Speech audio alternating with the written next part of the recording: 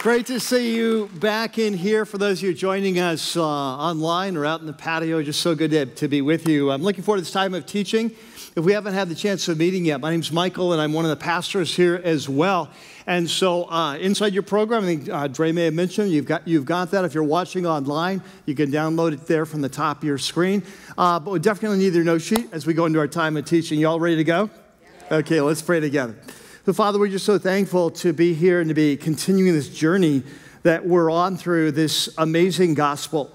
of this, uh, this man who was one of your closest personal friends. And uh, we thank you for the insights, Lord, that, that we are receiving from it, both from him and from you. And we pray that as we continue this journey today, that you would be with us in power, the Spirit would be here with us, and that you would be speaking uh, loud and clearly to each of us. Uh, and then, as always, that we would respond to the light that we receive by listening and following. We pray this in your name. And everyone said, Amen. Amen. Well, our story starts today in, a, in the desert, and uh, it's been a hot spell, and uh, uh, tempers are starting to flare. And uh, it, it's a large camp. Um, and as he looks back on this particular day, uh, honestly, he can't remember exactly how it started. Um, he can't remember who it was who spotted the danger first. What he remembers is that all of a sudden, out of nowhere, people began to scream, to run, to shout, to hide. And one of the things that was most distressing to him right away that he didn't know what was happening. He couldn't see what was happening, where the danger was coming from, until he did. And when he saw it, his eyes got big, and he, like everyone else, began to freak out, run for his life. And as time went on, the danger grew because those that were attacked were not recovering. There was no remedy, there was no solution, there was no answer to their pain. And as time went on, the hope began to die as the death toll began to rise. And they began to wonder where was this going to end?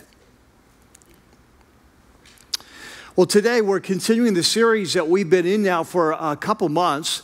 Uh, for those of you who are brand new, whether you're online or uh, here at, in, in our uh, auditorium, uh, the, the series is called Signs, A Path to Life. And what we're doing is a, it's an in-depth study of the life and teaching of Jesus as seen through the eyes of one of his closest friends, closest followers, uh, a man we call the Apostle John. And uh, John's writing at the end of his life, and he's inviting us to join him on a journey to explore uh, kind of his experience with Jesus, what he taught, uh, what he did, and especially focusing in on uh, seven of these supernatural signs, kind of supernatural works that Jesus performed that help us to understand who Jesus is and why he came, and for each of us, kind of lead the path to life. Now, if you were here last week, we looked at the first half of a conversation between Jesus and a top religious leader in Israel. Uh, it took place in Jerusalem. It's at the very start of his ministry. He's not really gotten super big public yet, but he's gone down to Jerusalem uh, to, uh, to, he's taken his uh, first disciples down south to Jerusalem for Passover. And while he was there, he performed many of these supernatural signs I was just talking about. And as a result, this, uh, this top religious leader, his name is Nicodemus, comes to him and he wants to know uh, more about this kingdom of God that Jesus keeps talking about. What does it take to enter this kingdom? Uh, what does it take to be a part of that?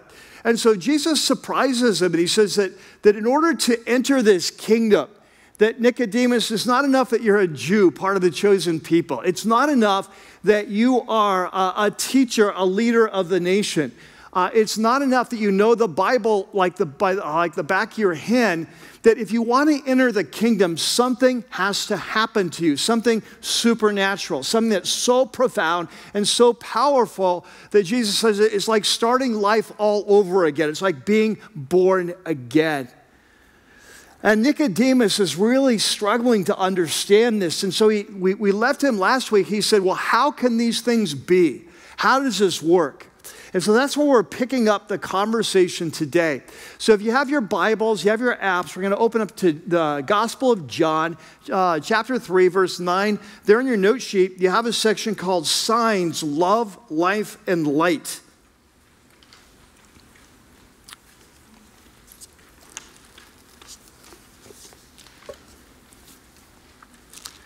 And so in verse 9, Nicodemus says, How can these things be? How is this possible for people to be born again, to have their sins forgiven, to have this new life you keep talking about? And so Jesus said, and we looked at this last week, you are Israel's teacher, you're one of the top leaders of the nation, and you don't understand these things? I mean, these things should be making sense to you. And then Jesus says, uh, verse 11, very truly, and this is, remember last week, we, last week we learned this. Whenever it says very truly, whenever Jesus says very truly in the NIV version, it's in the Greek, it says two words. Do you remember what they are? Amen, amen. Yeah, amen, amen, or in Greek, amen, uh, uh, amen, amen. And when he says amen, amen, this is like Jesus putting neon lights around what he's about to say. Sit up, pay attention. What I'm about to tell you is very important. And so, this is the third time in this conversation with Nicodemus. He says, Amen, Amen. And he says, Very truly, I tell you, we speak. And, and when he says we, it's hard to know whether he's using like an editorial we or whether just speaking of himself or whether he's talking about maybe himself and John the Baptist or, or he's talking about himself and the Father. But uh, whatever he means, he says, that we, um, he says, uh, we speak of what we know. Uh, he says, what, what I tell you, I'm not making this up. Uh, this is Peter. We testify to what we have seen, but still, you people do not accept our testimony. So you've come to me, you've told me that you believe I'm a teacher sent of God, but when I'm telling you you have to be born again, you're not really buying it still. And so he says uh, in verse 12, I have spoken to you of earthly things. You know, that as a human being, you need to be born again, kind of here and now, and you don't believe it. How then will you believe if I tell you about heavenly things, uh, like where I come from? And verse 13, and he says, No one has ever gone into heaven except the one who came from heaven, the Son of Man. Now, this word, this word, this title, Son of Man, is Jesus' favorite term for himself, right? It's sort of a, a messianic term, but but uh, one that um, was not as well much, not as well used as much. And so Jesus would kind of form it for his own purposes. And so he says, um, he says, No one has uh, ever gone into heaven except the one who's come from heaven, the Son of Man. So you remember back in chapter one in the intro, we're going to be talking about the intro a lot today.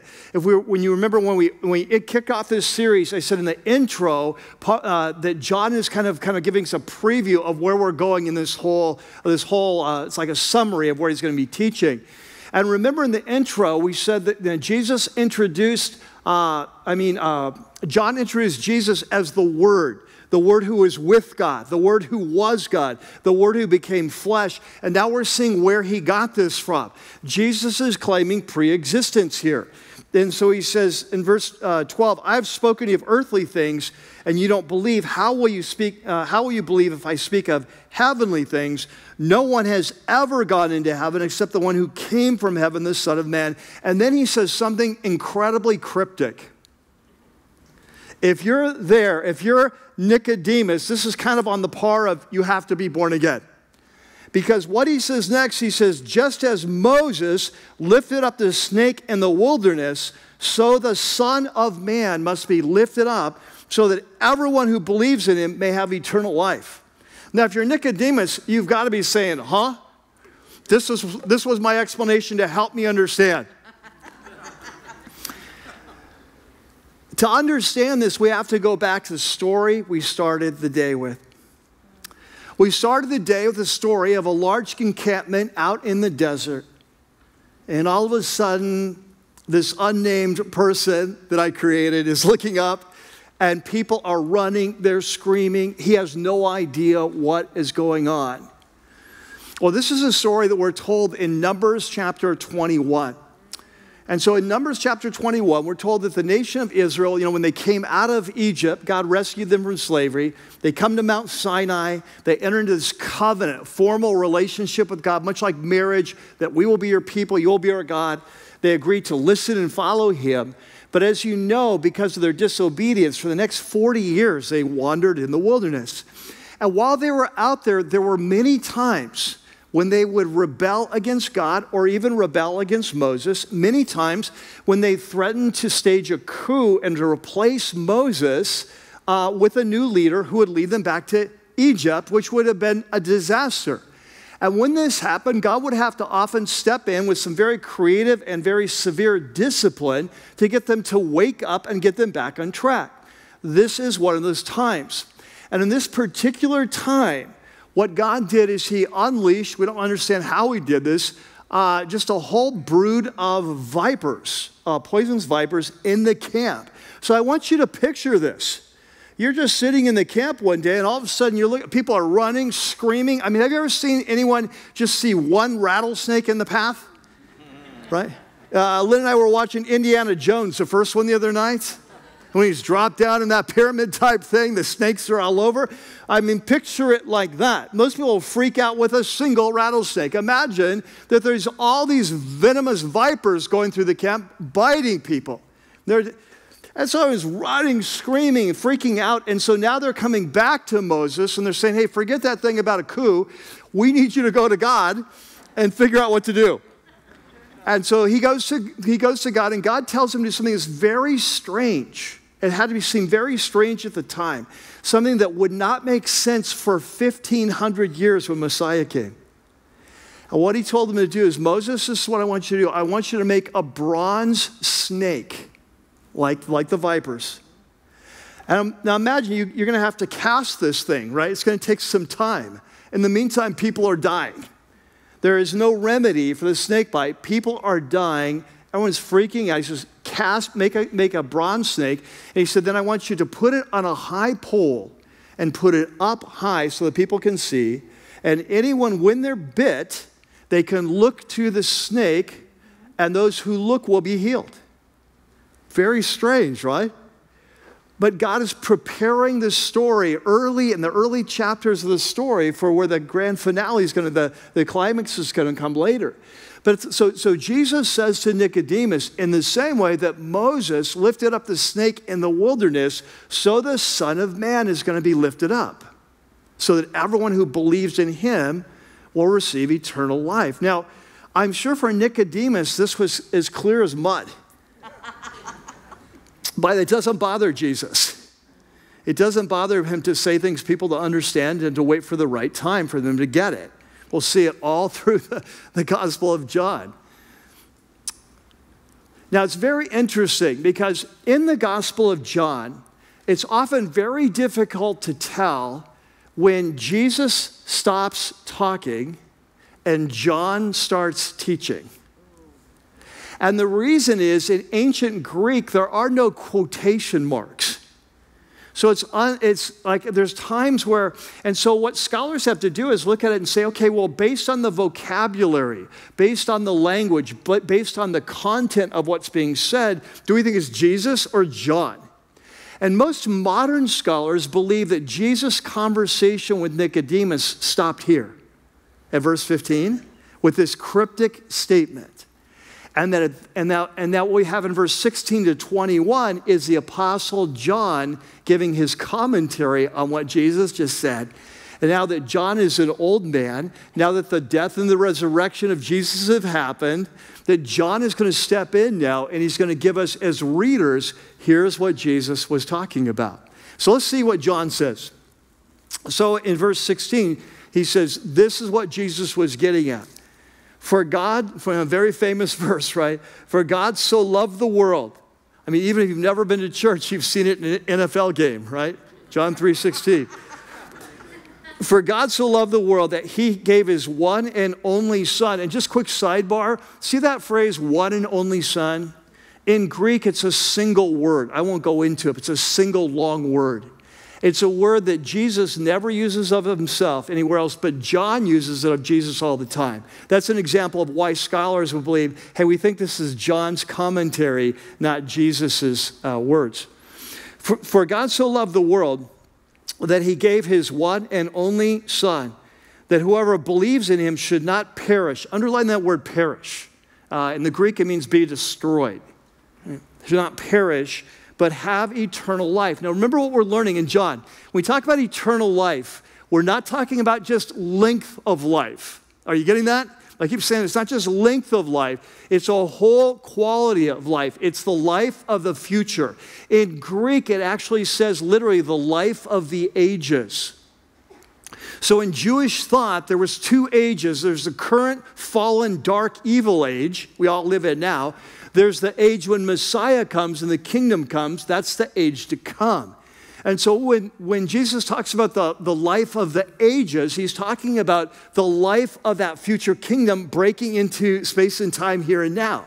That this, this is the life of Jesus. It's the life of God. It brings, remember the DNA? We talked about that. It brings the DNA of Jesus here and now. And so he says that this is why the Son came, that whoever believes in him should not perish or be destroyed, but have eternal life. And catch this for God did not send his Son into the world to condemn the world, he did not come uh, to, to lower the hammer. He did not come to, to bring, ju- yes, are we an evil, uh, evil age? Yes. Are we a rebel race? Yes. But he didn't come to destroy us, he came to save us. And says, um, he didn't send his son into the world to condemn the world, but to save the world through him. Now, whoever believes in him, and remember in John's gospel, to believe in Jesus is more than just sort of a nod to God. Yeah, I guess I believe. It, it's really the sense of trusting him with our life. We, we believe he's the Word that was with God and was God. We believe he's the Word made flesh. We believe he's come to die for. We've, we've trusted him with our life. And so he says, uh, whoever believes in him is not condemned. Catch that. It's present tense. Notice he, he doesn't say that whoever believes in him won't be condemned. He says, whoever believes in him here and now is no longer condemned. The moment we come to Jesus, we step over that line that we step from a condemned race to a pardoned race. We step from the old life to the new life. And it happens that moment uh, we give our life to Jesus. And so he says, Whoever believes in him is not condemned, but whoever does not believe, catches, stands condemned already. Like you don't have to wait to the end of time to find out what's going to happen.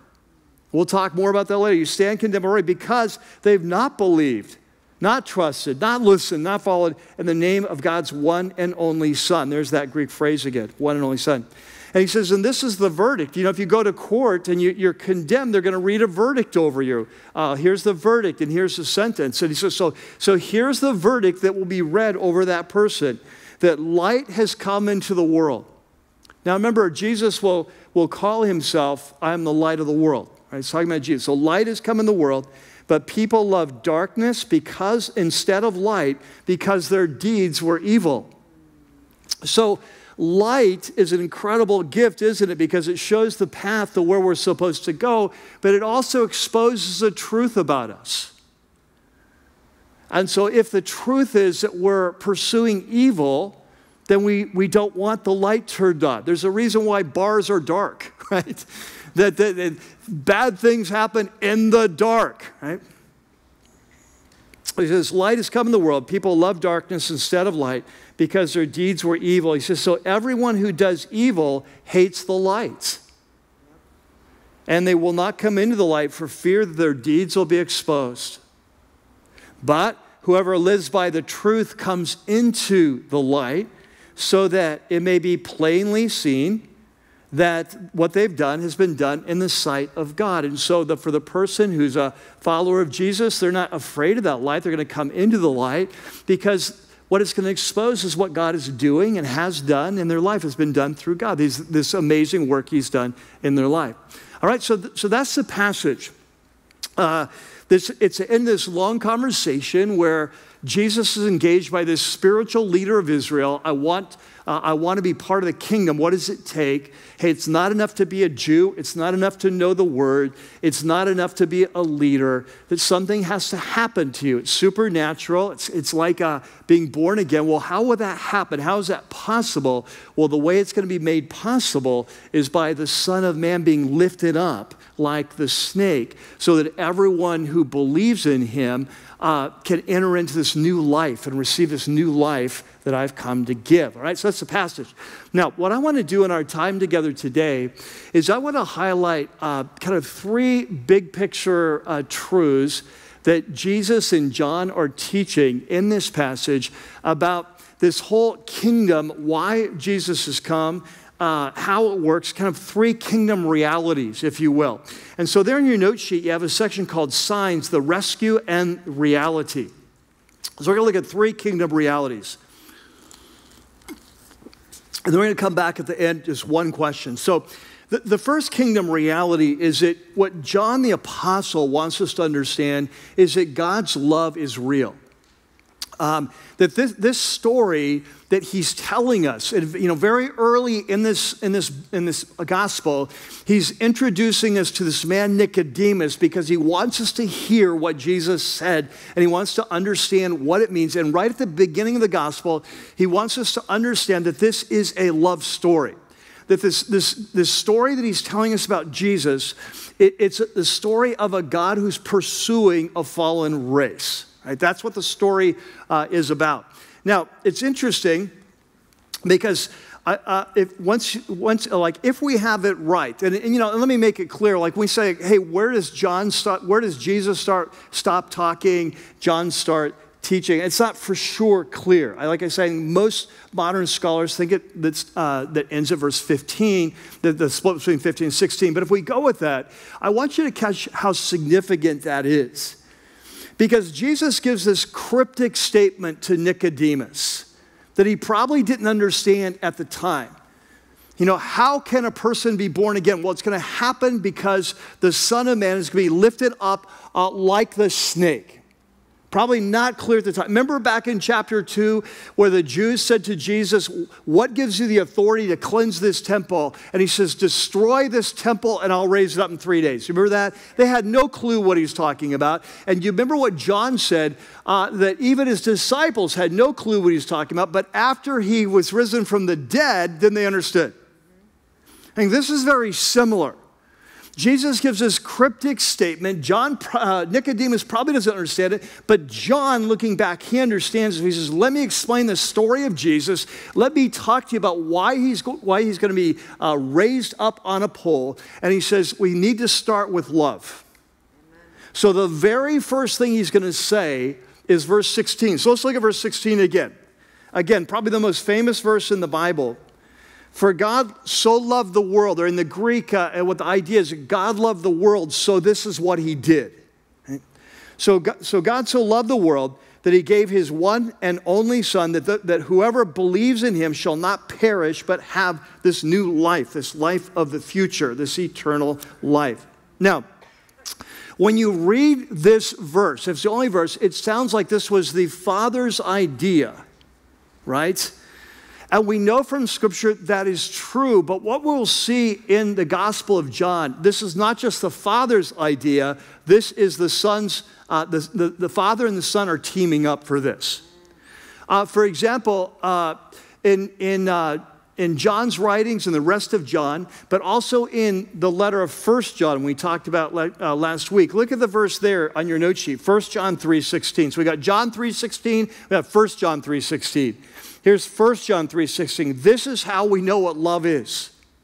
What does love look like? Jesus Christ laid down his life for us. Right? So we have the Father and the Son uh, initiating together this rescue mission to come after a rebel race to restore the life that we lost due to our rebellion.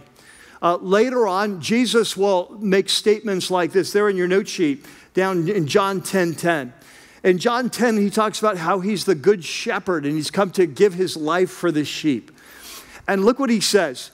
He says, No one takes it talking about his life. He says, No one takes it from me, but I lay it down. This is under my control. I lay it down uh, of my own accord. I have the authority to lay it down in death, I have the authority to take it up, in other words, resurrection. But he said, This command I received from my Father. So the Father and the Son are teaming up on a rescue mission for planet Earth. And they are teaming up to rescue a rebel race. In fact, when we get to John chapter 15, Jesus will say this No greater love does a man have for his friends than to lay down his life. And then he'll say, You are my friends if you do what I ask you to do. And so this is the, the, John wants us at the very beginning, he wants us to understand this is a story of love. This is what this is about. It's a love story. Number two, the second thing he wants us to understand right at the beginning of this gospel is that the danger is real. This, this danger that we're in in a race is, is real the Father and the Son are teaming up on this rescue mission by the power of the Spirit, but it's not automatic. That we'll have a choice to make. We'll talk about that more later. And the danger is real. This is a serious situation. Now, it's an interesting thing that in our culture today, most people who believe in God, and most people do believe in God, but most people who believe in God believe that God is a God of love. And uh, they also believe that when we die, we go to a better place. Like, I, I've never been to a memorial service. They said, Poor Joe, Joe, he's burning in hell. You know, it's like, we all know Joe, we know the truth about Joe. You know, let's not kid ourselves. If there's a bad place, he's there, because we all know Joe. Like, no, when you go to a memorial service, it's always that they're in a better place. When someone dies, it's always in, well, I miss them, but they're in a better place. Now, here's what I want you to catch. Where did we as a culture get this idea that God is love and that we die, we go to a better place? Can I tell you where we got it? We got it from Jesus in the New Testament. Amen. You look throughout world history, uh, you look through the religions of the world, this is where it comes from. There is no other, there is no, right? It came from Jesus, it came in the New Testament. But what's so interesting is, as a culture, we've embraced, in a sense, the teaching of Jesus, that God is love, and the teaching that there is a better place afterwards, but we've rejected what Jesus has taught about the alternative. So we've embraced half of his teaching. And do you remember what I, I told at the start of this that one of the dangers that we have to, to face as believers is we don't create Jesus in our own image. Remember we talked about that? Do you remember that back in chapter one that we said that uh, one of the, that John says one of the reasons why Jesus came was to reveal God to us. Remember John 1:18, the intro, he says that no one has ever seen God, but God, the, on, the one and only, that word in Greek, the one and only, God the one and only, who's in the closest relationship with the Father, he's revealed it. And in verse 14, I put it there in your note sheet, he talked about, and what did we learn about God when, when Jesus came to reveal him? He said, we, I could sum it up by two words grace and truth. Grace, this love of God that we don't deserve, and truth, a truth that will set us free. Sometimes it's a, a tender truth, sometimes it's a tough truth, but grace and truth. And I told you that throughout this series, we're going to see these two sides of Jesus the tough Jesus, the tender Jesus. And we talked about the danger of this creating Jesus in our own image. Here is a great example. We're going to see today the, the tender and the tough in the same passage. The passage that starts off that like why is this rescue mission happening it's because of this love of god that we don't deserve but jesus goes on to say and there in your note sheet you see it in john 3 there in verse 18 Whoever believes in him is not condemned. It doesn't matter what you've done, where you've come from. We give our life to Jesus, we follow him, we're no longer condemned. There is the tender Jesus, the love of God, right? He says, but whoever does not believe stands what? Condemned, Condemned already. And so, this is the side of Jesus, what he's revealed to us about our case, that we often don't want to face. That we, ought, we would often rather sweep under the carpet, we would ignore it. But Jesus is very clear. Look at the next verse, the John 3 16 verse. For God so loved the world that he gave his one and only Son, the rescue mission, that whoever believes in him should not what? Perish. perish. What happens if you don't believe? You perish the danger is real. This is something as a culture we have turned our back on. The reality of the danger, the mortal danger we're in as a race.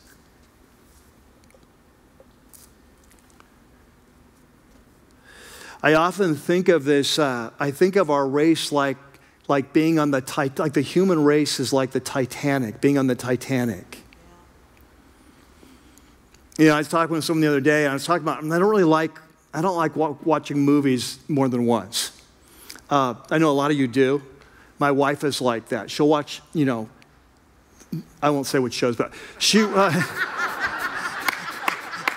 I won't, I won't reveal her, her secret life. But, uh, she'll watch the same shows over and over and over again. She loves watching shows again. I know some of you are like that. I won't ask for a show of hands, but.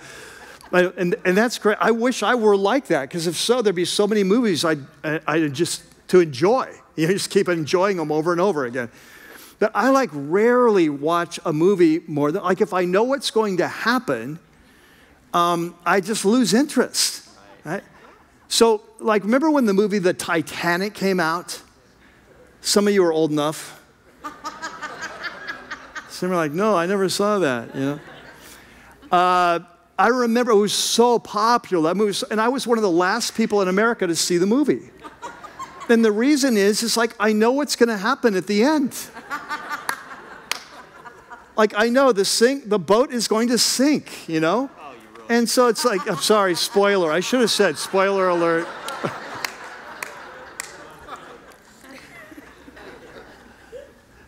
But you know, I, I, think of that. It's like what Jesus is, what this passage is saying is as a, as a human race, we're a rebel race. We're in darkness. We're like the Titanic. And Jesus is mount the Father and the Son are mounting a rescue mission. They're sending a boat to get us off.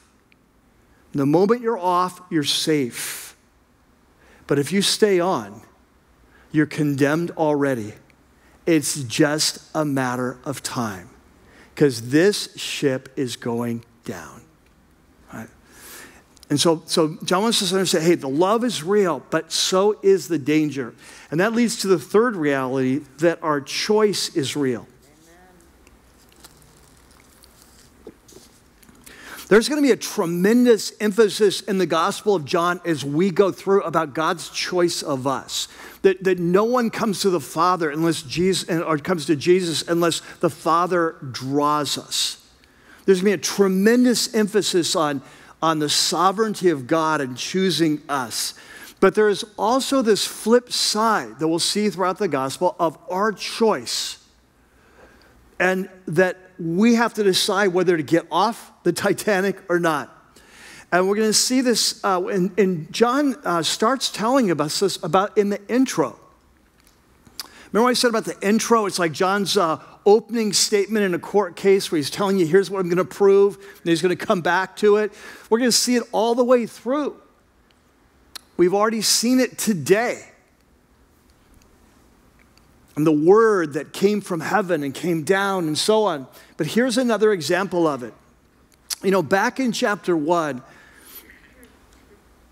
John said that the, in the beginning was the Word, and the Word was with God, and the Word was God, and He was the creator of the universe. And then He said, the, the Word became flesh. Do you remember that? And then He said, He came unto His own, but His own did not receive Him. Do you remember that? He's summarizing the story. In fact, there in your notes I put this verse there for us. He came to that which was His own, His own people, His own race, His own creation. But His own, for the most part, did not receive Him. They, they, didn't, they didn't receive him as the Word made flesh, their Creator who's come to rescue them. This is yet to all who did receive him, to those who believed in his name, he gave them the right to become what? Children. See, we're back to the born again theme. Do you see where it's going? Children born not of a natural descent or of human decision or a husband's will, but born of God. See, this is how that this chapter started. This, the chapter started how can you be part of the kingdom? You have to be born again. And from the very beginning, John's told us there's some who will receive that truth and there's some that will not receive that truth. And so, well, why will some receive it and some not receive it? Because there's a price to receive it. And this is what he says there on your note sheet in John 3:18. He talks about this price. He said, Whoever believes in him is not condemned. But whoever does not believe stands condemned already. Why? Because they've not believed in the name of God's one and only Son. And he says, This is the verdict. What is the judgment? What is the problem? Well, light has come into the world, but people loved darkness instead of light because their deeds were evil. There, there's a choice that in, in, order to accept this offer of new life, we have to face the reality of who we are. And we have to turn from darkness and turn to light. There's a choice involved. And so, three great realities the, the, the love is real, the danger is real, the choice is real. So, it leads then to a very important question. And there in your note sheet, there's a section called Signs, the Choice.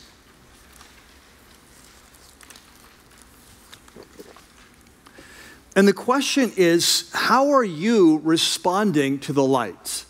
In your life right now, how are you responding to the light? And I, I want to ask this question on a couple different levels. Uh, the first level is for those of us here, whether you're here with us in the worship center, you're on the patio, you're online. But for whatever reason, you are pursuing Jesus in your life. You're sort of like Nicodemus. You're coming after him. You've been coming to Rocky Peak, perhaps. You're reading about Jesus and you're pursuing truth.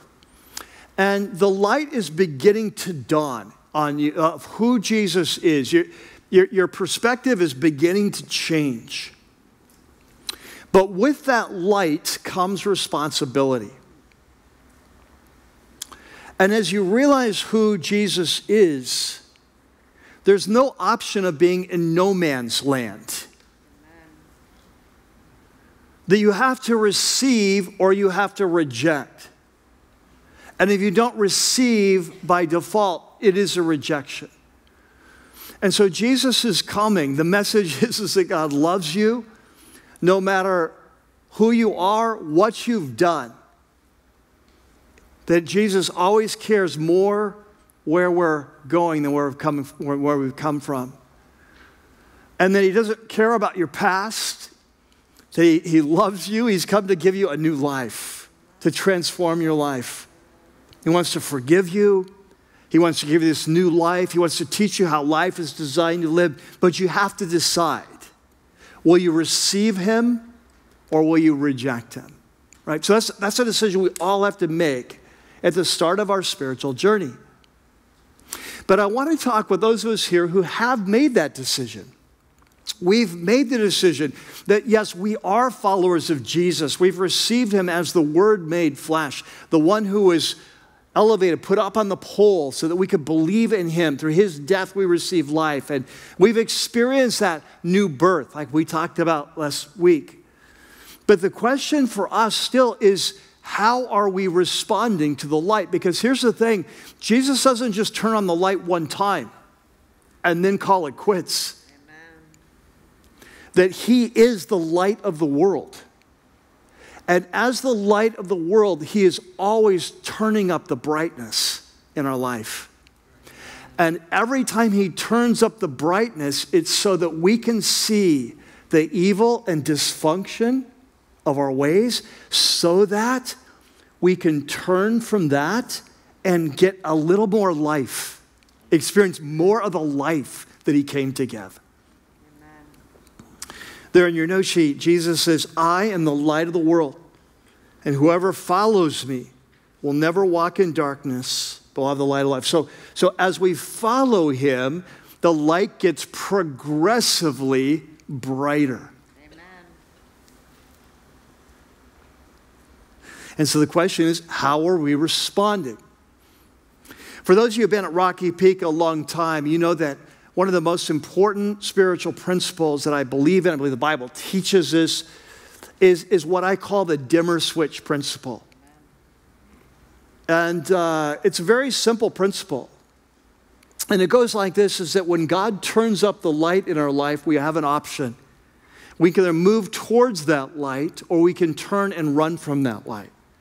And when he, if we move towards the light, we get more light because the closer we get, the brighter it gets. And so, as we respond to the light that He gives us, we get more light and we see the next step and we just continue to grow and be transformed. But of course, the opposite is also true. That when Jesus turns on the light and we don't like what it reveals or what it requires, there's a tremendous temptation to turn our backs to that light and move the other way and pretend that we didn't see it. And as we move away, it's getting what? Darker because we're moving away. It's one of the most important spiritual principles of life. When he, when, when he shows us light, we move towards light. It's like a dimmer switch getting turned up when we reject the truth, like a dimmer switch getting turned down. And so, for us as followers of Jesus, this is not a one time thing, this is a way of life. You know, in Proverbs, it says that the way of the righteous is like the shining of the light of a new day that goes brighter and brighter until full, until, until noonday. And this is what happens is that we follow Jesus, the light of the world, as he reveals truth. Yes, sometimes it's painful. Yes, sometimes it costs us surrender. Yes, sometimes we have to, to turn around and say no to that. And, and we no to some things. Yeah, yes, but as we do, there is release in us a new life, a new power. And we experience more and more of the life of the age to come, what he came to give us, this eternal life. Amen. Amen. Let's pray. Well, Father, we thank you for this beautiful passage. We thank you for Jesus. We thank you for John. We thank you for how they team up to be our teachers here today and to reveal your incredible love, this supernatural life you've come to give us, and the path to life. The giving our lives, believing in you, trusting in you, following you, one step at a time. And Father, we pray that this would be our story, that we would go from glory to glory, from brightness to even brighter. The dimmer switch would continue to get turned up as we turn our lives to you. We pray this in Jesus' name. And everyone said, Amen. Amen.